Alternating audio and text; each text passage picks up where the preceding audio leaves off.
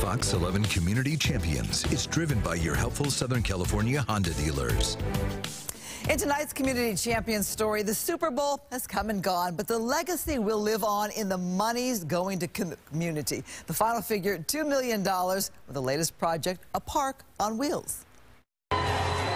As a victory parade Wednesday cemented the LA Rams Super Bowl win into the history books, a legacy of community service will live on with 2 million in grant money shared by organizations like the Plus Me Project. The Plus Me Project builds confidence in youth through storytelling. So we share our journeys and we help youth find and discover their own stories and Project Blue with LAPD coaches of the Watts Rams youth football team. We want to teach these kids life skills. We want to teach these kids how to be productive on and off the field. And that's what we're able to do with the Watts Rams. We're able to really center that energy. And then we have great coaches from the community. We have great coaches from Los Angeles Police Department. And Mary's List with welcome supplies for refugees. So this is the Mary's List Welcome Workshop. It's where we store and sort and ship supplies for families. This summer, I went to SoFi Stadium to learn all about this NFL legacy program. Each host city uh, determines what they want their Super Bowl legacy to be. Renata Simril is the CEO of the Play Equity Fund, established to raise more money and to, to eliminate more barriers and to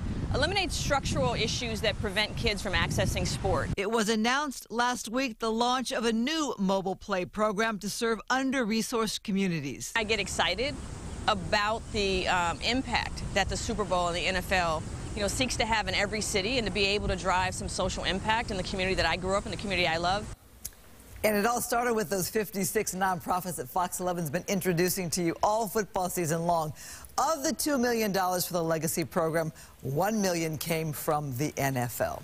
You know, I saw Renata at the NFL Honors when I was covering it, and she came up to me to say what a difference your stories have oh. made to those nonprofits oh, that she's heard from so many of them who have had additional people donate and volunteer because they've seen the stories on oh, Community Champions. I love So big that. shout out to you and, and a really proud, I think, moment for the station as well, using the platform to highlight them. Well, the neat thing is we were going to stop at the, when the Super Bowl came, and then uh, there are so many organizations, 56 of them, that we're going to continue to profile them because there's a lot of unsung heroes that we're learning about as well. Yeah, so and clearly the stories are making a difference. Every week.